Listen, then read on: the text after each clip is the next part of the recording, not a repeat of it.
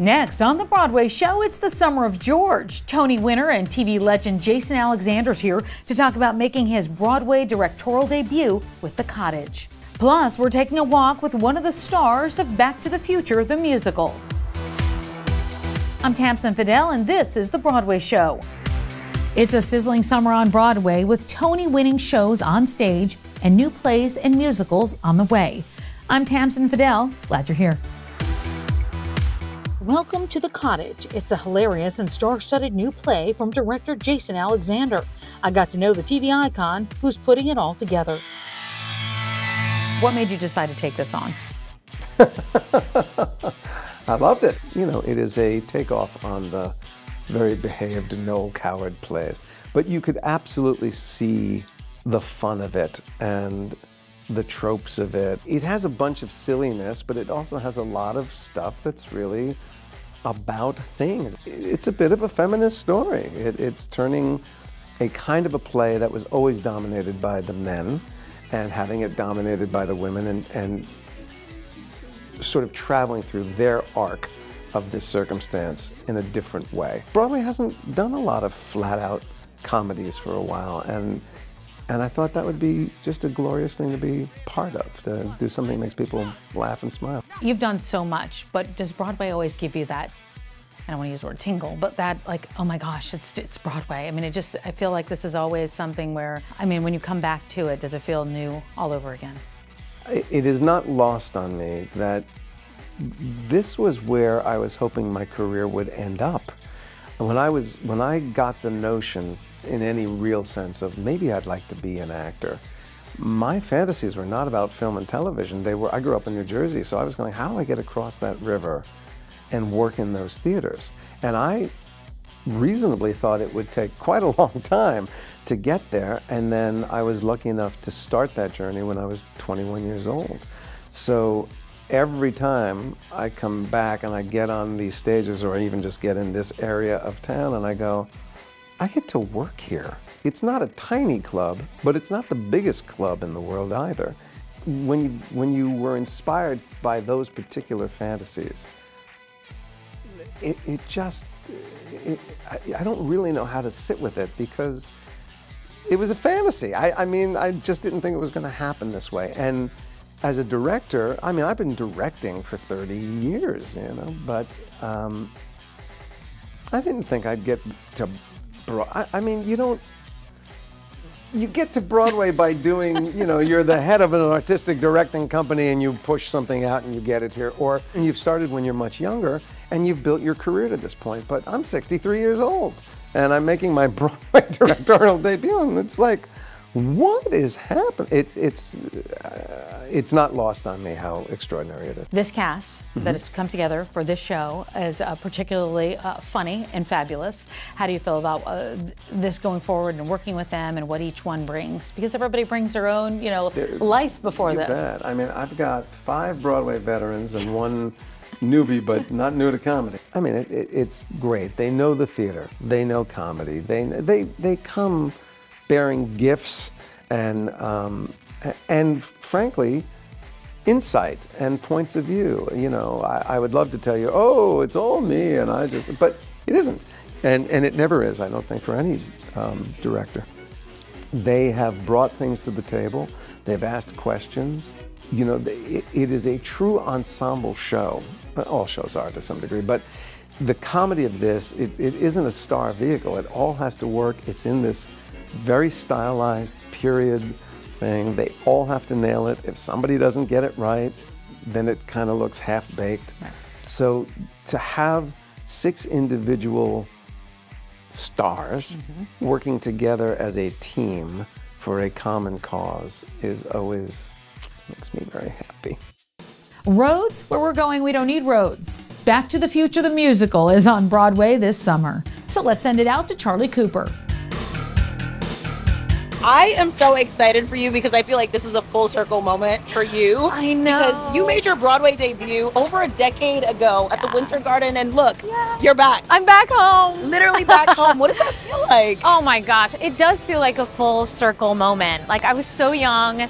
I made my Broadway debut as Sophie. It was my first Broadway job, first Broadway show, and to be coming back now feels really special and playing this role that I love so much on the same stage. Yeah, I feel really lucky. I love that so much. This show is just huge. Yes. Everything from the Yes. lighting and the illusion and the singing and the dancing and it's, it's just it's it's huge. It's Yeah. incredible.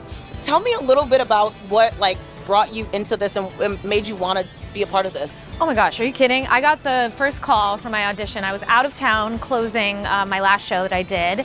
And I got the call and I was like, oh my gosh, I haven't seen that movie in years. And I sat down and I watched the movie and just re fell in love with it all over again. And especially the, the role of Lorraine Baines. I was like, I must go in for this.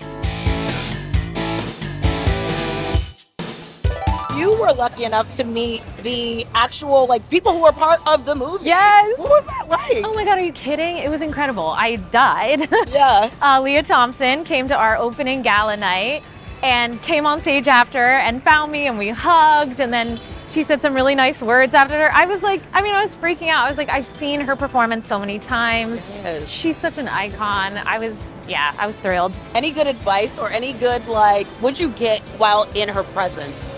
You glean I mean- from her? She's amazing. She's like, she's cool, she's grounded, she's such a great actress, and like, she has such a cool spirit and energy. And I was just like, I don't know, I was like soaking it up. Yeah. okay, I have to ask you Yeah. if you could be transported back to any decade or any time period in your life, maybe, when would it be and why? You know, I want to go back to the 90s. Yes, And I. I want to be an adult in New York City in the 90s. Because I, I was very oh. young and like, I want to know what that vibe was like. Because I Yeah. feel like, I feel like it was a cool time. When you were a kid, because you kind of just referenced like childhood. Yeah. Was there one show that really captured your attention and made you feel like this is what I want to do? Like I A know A musical? Yeah. Oh, yes. You're a Good Man, Charlie Brown. Mhm. I saw that on Broadway starring Roger Bart. No. Yes, as Snoopy. Oh my god. I think I was 11, and I that show like I was like, oh my gosh, I must do this. Yes. Roger Bart was so iconic in that role, and my mom and I just loved it so much. And I like marched back to my middle school, and I was like, we're putting on "You're a Good Man, Charlie Brown." I'm playing? Sally. No, but I mean, me and all my friends. I was like handing out scripts. I was like casting everyone. I love that. I love that so much. Well, listen, we're here. We're back at your home. Oh my gosh, so soon? Yes. And listen, break a leg. Thank the show you. is so good. Thank you so much. Everyone and their mom needs to come and see yes, us. we're having a blast, and I hope audiences are too. Thank you. Yeah, thank you. All right, off I go to work. Bye.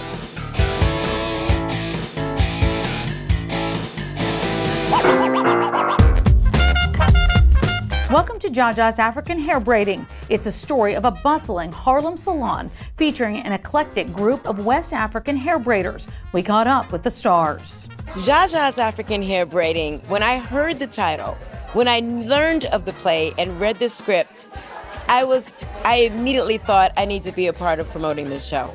I need to be a part of helping to bring this vibrant story, this vibrant community to life. And I just wanted to be a part of cultivating the audience that would come in, inviting this audience into our little tiny world of theater and see that this is for you as well. You're gonna laugh for sure. It's a very funny play.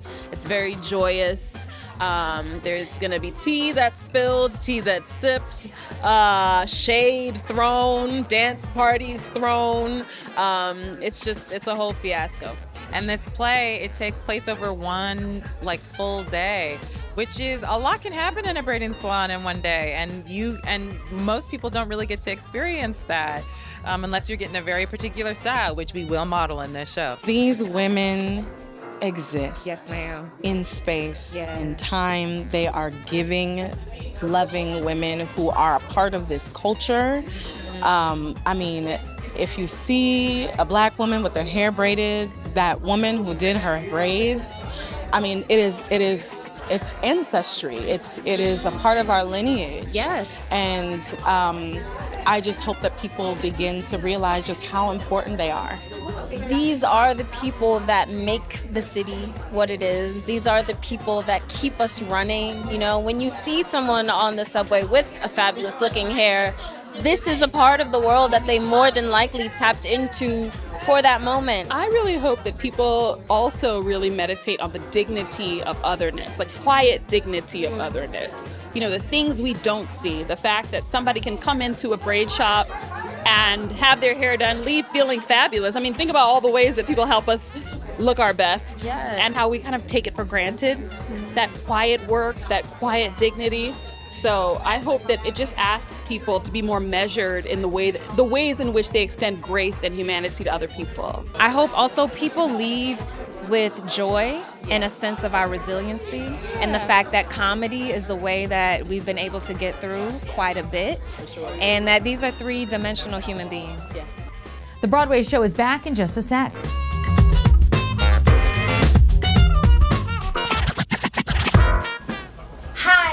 Hi, Gaston, and I play Anne Boleyn in Six the Musical, and you are watching The Broadway Show. Welcome back to the Broadway show. I'm Tamsen Fadal. Let's get back to it.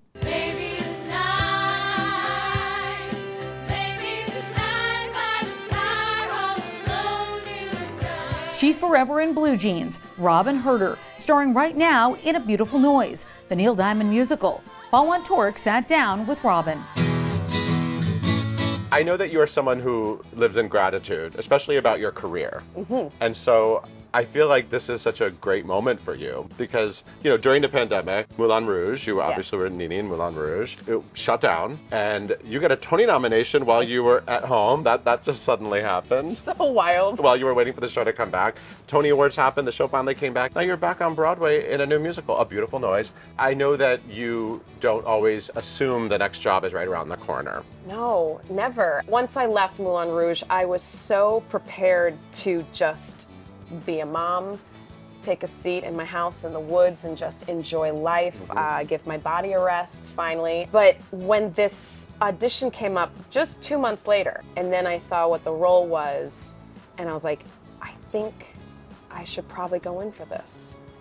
And I did, and it happened so quickly. And then all of a sudden, within three days, I had another Broadway show. And that's when you just kind of um, you release and you throw your hands up and say, "Take it away, universe," because I'm not going to fight it. I'm like, clearly, this is meant to be, and I'm so grateful, and I'm going to embrace it and go on another journey that was completely unexpected. Never in my life would I ever expect that I would be starring in the Neil Diamond musical.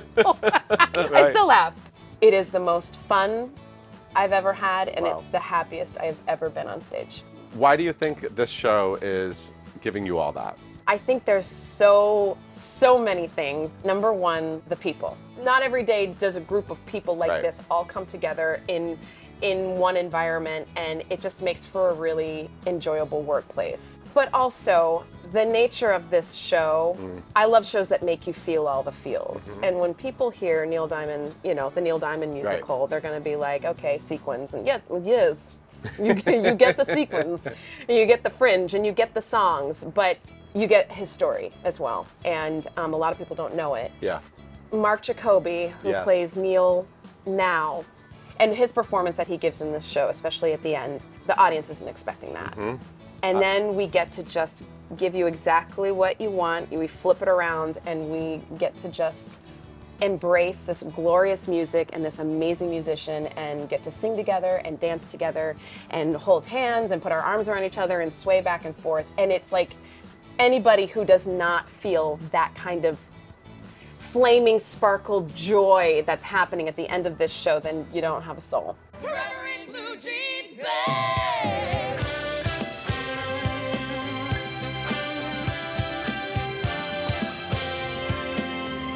You do this uh, fantastic number, Forever in Blue Jeans, Mhm. which is a Neil Diamond song I never thought twice about. Really? I, never really had a moment with it. Now I'm obsessed with it because of you. I'm most obsessed with this number than anything else on Broadway right now. I, Really? I, I, yes, I want to go see that number. I'm going to come to the matinee with you and just watch that number. It is so, it is so good. I was screaming at the end. I loved it so much. it was so good. I it was mean- amazing. You play Marcia, Neil Diamond's second wife. Yes. Who he is no longer married to. Nope. And Neil Diamond is around. Yeah. He, he's Mhm. very much involved in Yeah. the process of this. You're playing his ex-wife.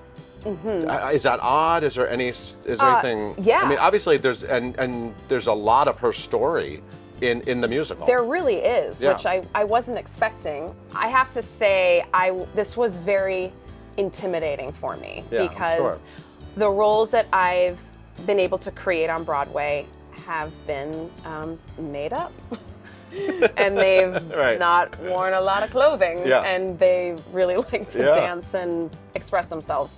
So this one, I'm like, hmm, not only do, do I get to wear clothes in this show, um, I'm creating a, a, a real human that's here, that's alive. And with Marcia, um, there is not a whole lot of information about her. She's, le- she's led a very, very private life since the divorce. And she helped create this lifestyle, this Neil Diamond that everyone adores and loves, which kind of turned into a beautiful monster. And um, unfortunately, relationships are the ones that are sacrificed. And it was, you know, 25 years.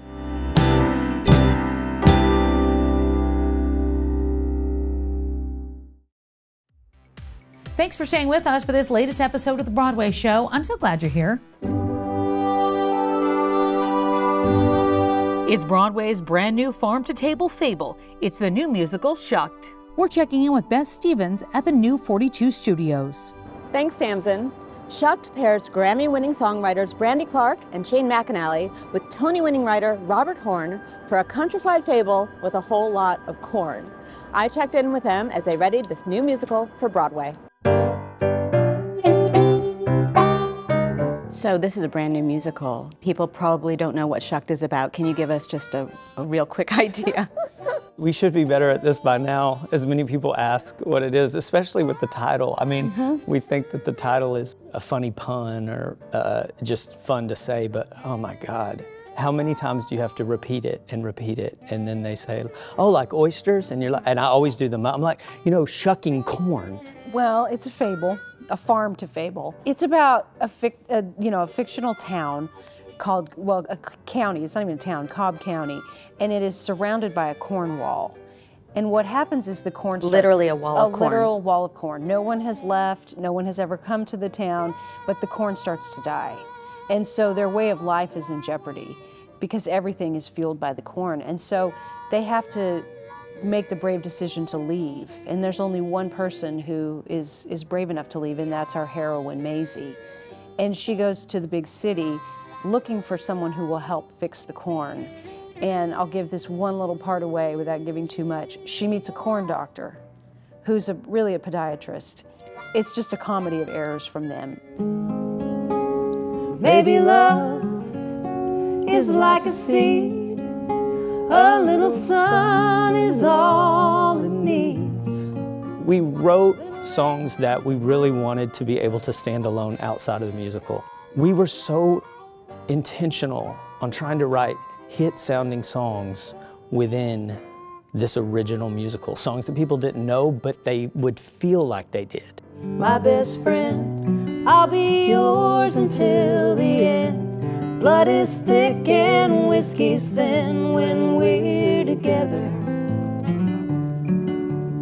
Friend, my old friend, ins and outs and outs and ins. We've been family all our lives, but we'll be friends. Friends forever.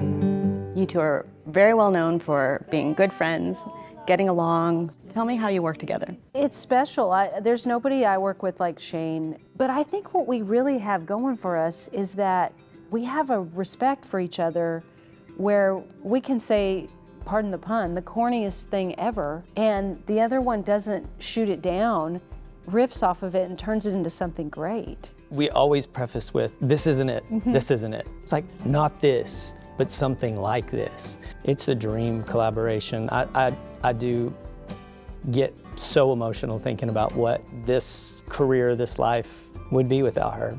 You know, I can barely look at her when I talk about her, but we're so lucky that we found each other and the timing was so perfect because not only did we really help each other at a time in our country music writing careers where we both really felt like it was never going to happen for us and we had been doing it for a long time.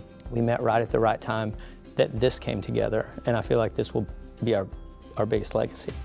We're excited to tell you about an awesome paid fellowship program for college juniors and seniors and recent grads who are interested in a career in theater administration. It's called the Black Theatre Coalition Broadway Across America Fellowship, sponsored by the John Gore Organization. The program begins in January. The application process now open through September 29th. For more information, visit BroadwayFellows.com.